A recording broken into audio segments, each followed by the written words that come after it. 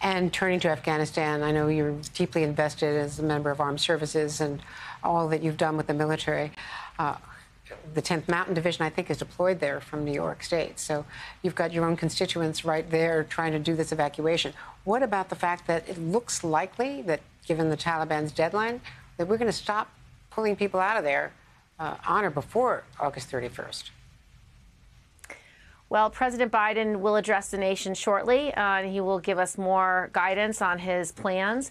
But uh, our job right now is to make sure we get as many uh, of our, our, troops, our allies, our American citizens that have been serving in Afghanistan out uh, to increase the airlift capacity. Um, President Biden has begun to use the civilian aircraft reserve, um, asking regular airlines like Delta Airlines and United Airlines to help um, to help transport people in countries outside of Afghanistan that are taking refugees.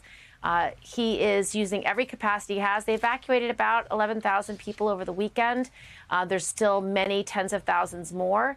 So our work is very difficult. Um, the men and women who are serving on the ground are fearless, including the 10th Mountain Division. So he has the resources he needs to do this. But it's up to the president whether he wants to extend the deadline. If he feels he needs to, he should. Um, we, at the end of the day, we don't have a regard for what the Taliban wants. We have a regard for what's best for our men and women who are serving, our families who are there, as well as our allies uh, and all of the translators and Afghans who have Afghanis who have helped us and who have made a difference uh, over the last two decades in Afghanistan. It's very clear now that we're not going to be able to get everyone out who has been targeted. Certainly not all of the Afghans who have not qualified for this SIV program. Uh, what about the people being left behind?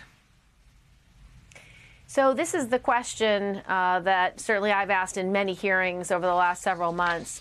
Uh, we always had two missions, Andrea. Uh, one was the national security mission to make sure that terrorist threat could not emanate from uh, Afghanistan. That's something we've been diligent on, and we've done gone great strides in undermining ISIS, uh, ISIS K, Al Qaeda uh, that were residing in Afghanistan.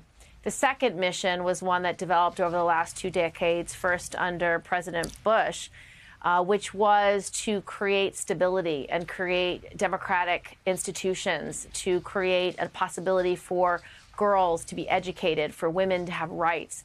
Um, but that was always a secondary mission to our national security mission. President Biden to date has been very clear. He thinks the national security mission is the only priority in Afghanistan.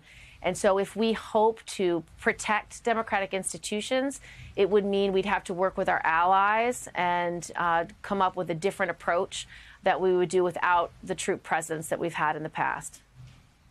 Senator, thank you very much. Really appreciate your being with us today.